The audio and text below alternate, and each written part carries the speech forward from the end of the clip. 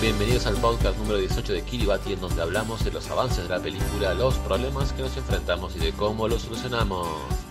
Buenas, buenas, ¿qué tal? Eh, les habla acá Héctor, desde San Luis para el Mundo.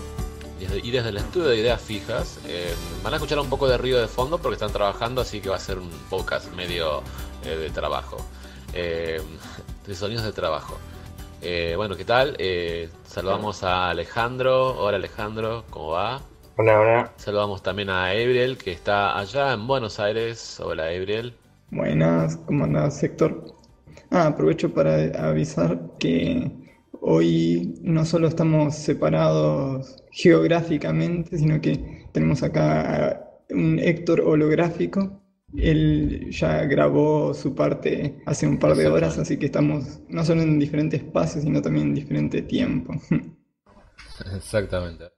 Bueno, como siempre vamos a, contarles lo que hemos hecho en la semana, eh, bueno, sumado a las preguntas que nos dejan en, Facebook o en Twitter o en el mismo canal de YouTube donde dejamos nuestros podcasts. Así que vamos a comenzar con nuestro programa y nuestra semana de hoy. Por mi parte, voy a comentarles que estuvimos haciendo junto con Cristian y José tareas bastante, como siempre, variadas. Eh, pero todas enfocadas a tener el material más eh, enfocado al lighting, ¿cierto? Por ejemplo, Christian estuvo haciendo shading de personajes, eh, estuvo haciendo un trabajo de UVs eh, para mejorar las texturas, para que las texturas funcionen, porque resulta que había texturas hechas en otro momento, pero estaban adaptadas para otro tipo de modelo, entonces se lo adaptó. Christian estuvo editando eso José estuvo trabajando, ya cerró el, uno de los sets más grandes que tenemos en la peli y ahora comenzó con otro, otro set, está adaptándolo, organizándolo y optimizándolo. Yo por mi parte estuve con ellos eh, viendo en qué estaban trabajando y qué era lo mejor para hacer. Y estuve trabajando con Alejandro, con un problemita que teníamos con el shading de los pelitos, un detalle que que va a quedar muy lindo. En realidad es un, detalle muy fino, pero le da riqueza al, al trabajo general del render, ¿no? Cada cosita que se le agrega en cuanto a shading es un granito que siempre aporta a mejorar el aspecto visual de los personajes, ¿cierto? Y bueno, como siempre, tareas relacionadas con, con los animadores y, y reviews y todo lo demás. Tuvimos briefs la semana pasada y esta semana ya estamos terminando con la edición de, del brief.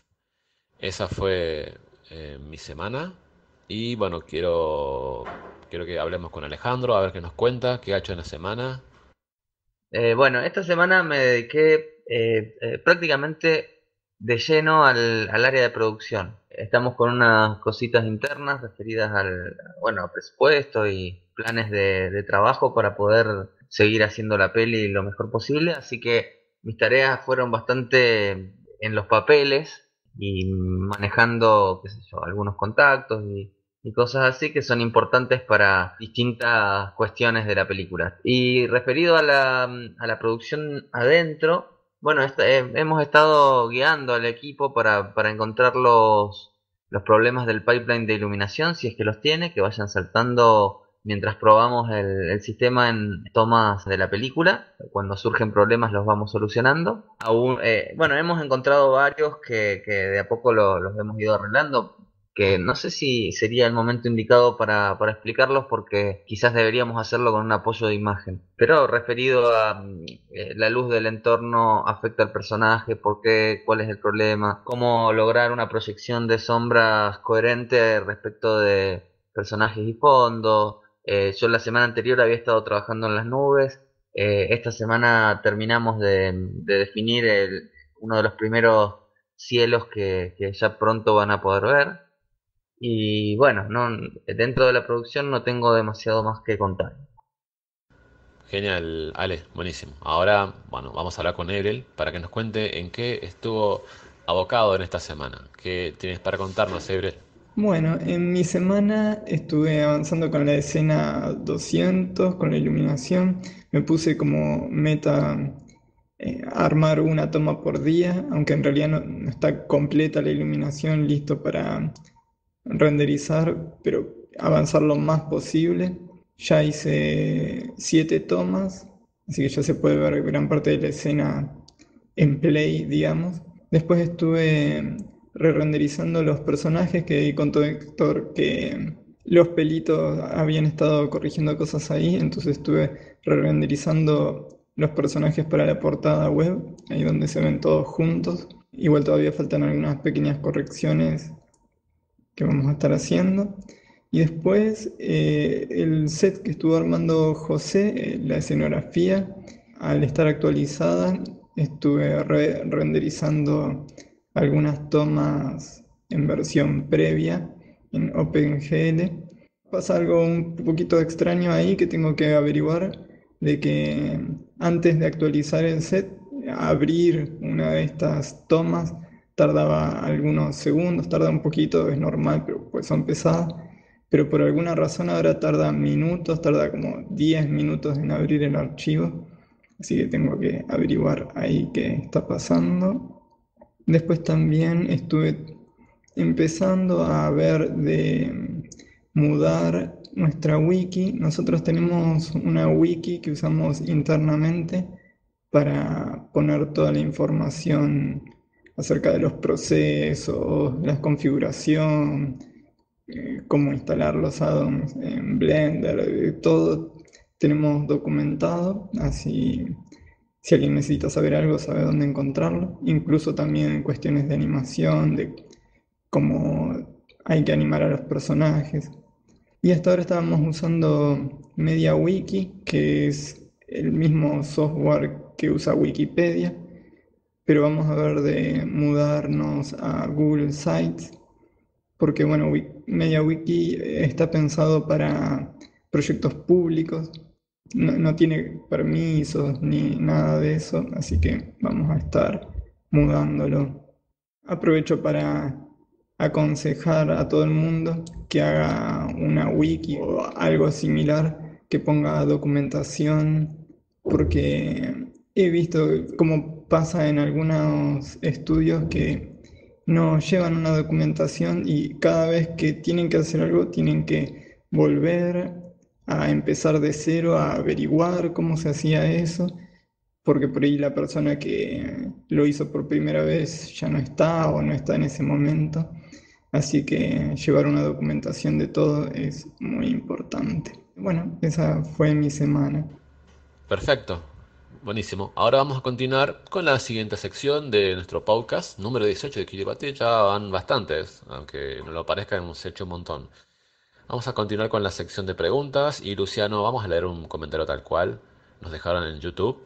Eh, Luciano Muñoz nos dice, en general el capítulo de hoy, The Blue Umbrella, eh, uno de mis cortos preferidos, hermosura técnica y artística. Les agradezco y me encantó que hablaran de la historia del corto. Es importante y nos envuelve también más en querer saber sobre la producción. Mi pregunta es, ¿cuándo sacarán un trailer largo? ¿Tienen considerada la campaña de marketing?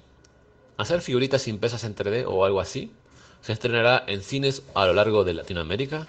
¿Cómo hacen con esa parte? ¿Lo financian de su bolsillo o deben postular a financiamientos del gobierno como el Inca y similares? Eh, bueno, respecto al tráiler, eh, tenemos pensado sacarlo, eh, digamos, el tráiler largo falta. Falta porque recién estamos poniendo a prueba el, sistema de, iluminación, pero sí vamos a aplicar el, el sistema sobre un tráiler corto. O sea que no, no, no tenemos fecha definida, pero no creo que pasen más de dos meses sin que tengamos ese producto. Después preguntan por la campaña de marketing. Bueno, la campaña de marketing siempre, siempre estuvimos buscando alguna, alguna estrategia, sin embargo todavía no la empezamos a aplicar. Obviamente vamos a empezar por redes sociales, tratando de hacerlo circular, pero eh, será siempre un poco más cerca del estreno cuando fijemos fecha de estreno, supongo que será momento de, lanzar eh, la campaña de marketing. Hacer figuritas empresas en 3D o algo así también. Preguntan si vamos a hacer algo de merchandising, por lo, por lo que entiendo. También el, el, merchandising lo hemos, lo hemos pensado, porque podemos sacar de acá muñequitos, figuritas, vasos con imágenes, cualquier cosa. recuerdo que una película compatriota había sacado hasta linternas con, con pero con, las imágenes de su producto. Pero nosotros no, primero que no tenemos el alcance de, de una película comercial. No se olviden que la financiación de la película está ligada directamente a entes estatales, eh, como lo son San Luis Cine y el Instituto Nacional de Cine y Artes Audiovisuales, el INCA. O sea que no dejamos de ser una película independiente y que al, menos aún no hemos conseguido financiamiento para, para, el merchandising. O sea, imagínense que hacer juguetes y esas cosas no, no es eh, algo eh, barato, menos para, para gente con, de a pie como nosotros. Así que ojalá que sí, que, una vez que la peli le empiece a ir bien, eh, podamos apostar a eso o consigamos a alguien que quiera asociarse y lanzar eh, la campaña también por merchandising. ¿Se, estrenará en cines a lo largo de Latinoamérica? Bueno, sí, obviamente el objetivo de, Kiribati es que se, estrene en Argentina, en Latinoamérica y en todas las partes del mundo donde podamos llegar. Eh, para ello lo que, lo que se hace es eh, hacer un contrato con un agente de venta quien pasea por todos los mercados que se conocen en el mundo, ya sean en Annecy, en Cannes, en Berlín, etc. Y van ubicándote eh, el producto en, distintas regiones. Lo ideal no es hacer una sesión global de los derechos, sino que ir vendiendo el producto por regiones. Entonces, lo que suele pasar es que a partir de, que vos lo vendiste, por ejemplo, lo vendo a España, vos obviamente lo, vendés, pero ya después la taquilla, si después metes 100 millones de espectadores en España, cosa que es imposible, pero para exagerar, la producción no ve un centavo de eso. Se suele ceder eh, el derecho de explotación completamente. Y bueno, lo otro que se pregunta es si lo financiamos de nuestro bolsillo o nos postulamos para financiamientos del, gobierno, supongo que referido al lanzamiento. Eh, Inca, eh, si bien tiene contemplado muy chiquitito cuando te otorga un crédito, que reserves una parte para el lanzamiento, nunca va, llega a ser un lanzamiento internacional. Cuando vos haces un lanzamiento en otra región que no es tu país, lo que suele hacerse es que mm, la distribuidora eh, se encarga del lanzamiento y después cuando el producto se llega al cine son los primeros en recuperar y después se distribuirán eh, las ganancias como hayan arreglado eh, entre el comprador del producto y el distribuidor, eh, tal como diga el contrato. O sea, por, si no se entiende o si me enrosqué un poco, digamos que muchas veces del lanzamiento se suelen hacer cargo las distribuidoras y obviamente son las que primeras recuperan a la hora de, de exhibir la película en cines comerciales. Genial. La verdad que la sección de preguntas me gusta porque es una forma, creo, única en donde la gente directamente ya se comunica con gente que está trabajando en una película de animación 3D y mucho, mucho más interesante acá en nuestro país, que sería genial que la industria de la animación crezca en nuestro país.